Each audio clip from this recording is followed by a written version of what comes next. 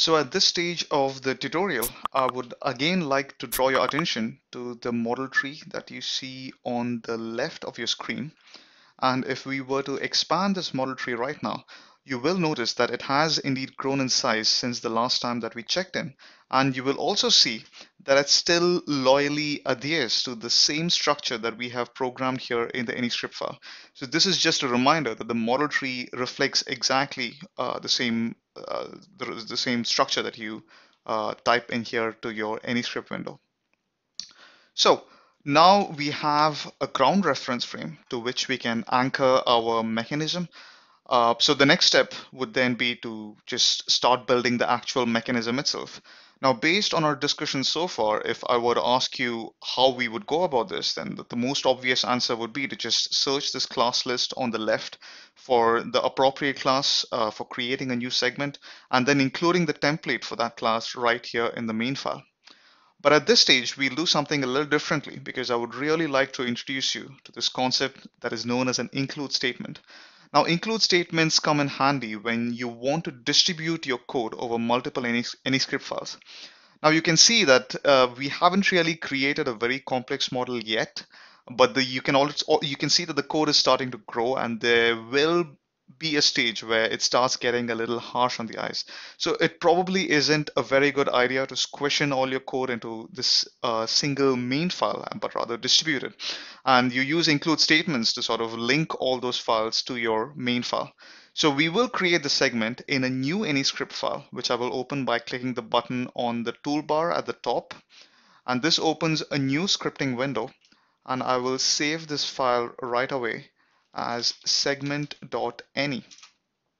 Now in segment.any, we again have these tabs that you see on the left of the scripting window when you have one of the tabs over there which says classes. And over here, I can open the class list. And the class which lets us create a new segment is called AnySeg. So I'm just going to find that here. There it is. And I'm going to include the template for that class in this file. So the first thing that it prompts us for is an object name and I will go ahead and name this segment one. And we then have a few optional parameters, which you can see they have been commented out with the double uh, forward slash. So let us just delete all these optional parameters first and I'll delete all of them except one called R0, which I will be setting in a, just a few minutes. And apart from these optional parameters, there were also two mandatory parameters that the user had to specify. And these are the mass of the segment and this quantity JII, which is a three-dimensional vector, as you see over here. And JII is basically just a vector containing the three diagonal elements of the inertia matrix for that segment. And since that inertia matrix is a three by three matrix, that is the reason why you have uh, three, three vector elements that you would have to fill in. So let's just set the mass of the segment to be 10 kilograms. And as for JII, I will set the three diagonal elements to be one, 5 and 5 kilogram meter square respectively.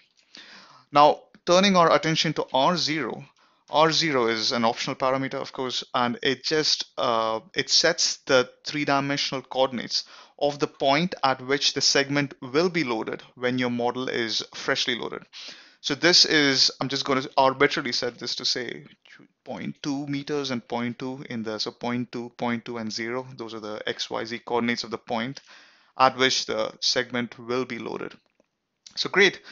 This is our segment, but if you remember our discussion from earlier, uh, we cannot really uh, expect this segment to be displayed right away because AnyScript requires you to sort of explicitly mention that you want a certain object to be uh, displayed.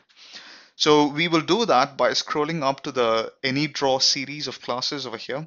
And over here, there will be a class that is called AnyDrawSeg. And this is the class that lets you visualize a segment in the model view.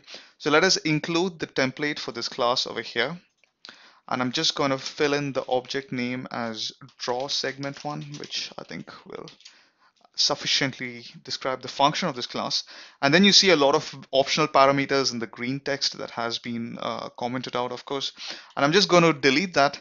Uh, in reality, I could I could just have left this text over there because these comments will be ignored by the code, but I I think the code gets a lot more readable when you do away with the, the unnecessary uh, optional parameters that where you're happy with the default values.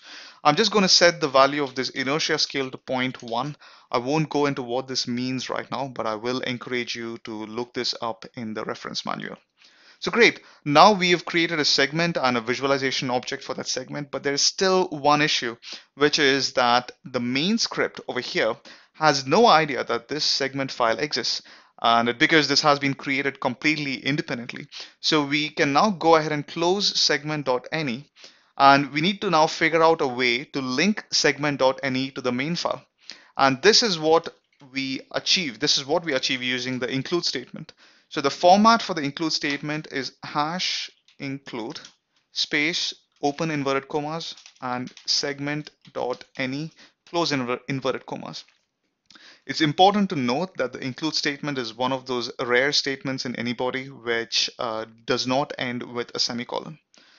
Now, and, and, the reason why we haven't included a file path uh, ahead of segment of the of the name segment.any, the file name, is because uh, both segment.any and our main file demo underscore main.any are both located in the same file location, so they can find each other. Now this include statement actually works like a hyperlink and literally like a hyperlink because I can actually double click on the text segment.any and that will automatically open up the file itself.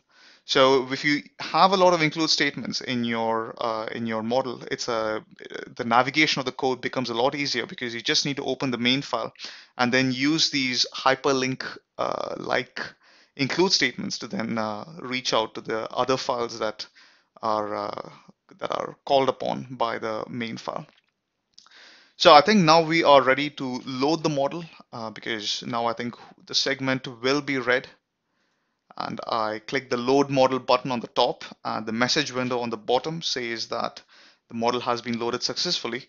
So now I can go back to the uh, window drop down menu at the top and click on model view which now gives me this. So you can see that in addition to the red ground reference frame, you also see this huge yellow ellipsoid, which is the the default drawing object for a segment in AnyBody because we didn't really specify a shape for the segment we just specified a set of inertial parameters and there are ways in which you could actually have more realistic use of segments but I will not go into that at this stage of the tutorial. I will go ahead and close this window now and just introduce you to two more very interesting and powerful concepts in AnyScript. So this, these will really let you navigate uh, the code very easily. So our code is getting a little larger right now, as you can see. Uh, so I'm going to teach you this trick where I would like to get to draw your attention to the left of your screen over here where we have the model tree and I'm going to focus specifically on this object in the model tree which is segment one and you would recognize that this is the is the segment that we've just created. Now let's say I wanted to find out where exactly this object was defined in AnyScript. What I can do is simply right click on segment one and say locate in AnyScript and this would automatically take me to the file segment.any over here and this is of course where we created the segment and the cursor has also gone to the point where the segment was or the segment object was defined right here. We can also go the other way around, which is let's say I want to know where draw segment one is located in the model tree. What I can do is take my cursor over draw segment one and right click and say locate in model tree. And if you now see look here, you can see that the draw segment one object has been highlighted. So I would really recommend that you use these two tools to uh, browse your model because it just makes life a lot easier in when you have those really huge complex models. So we now have a global reference frame and we also have a rigid body segment. So next, uh, let us try making a joint.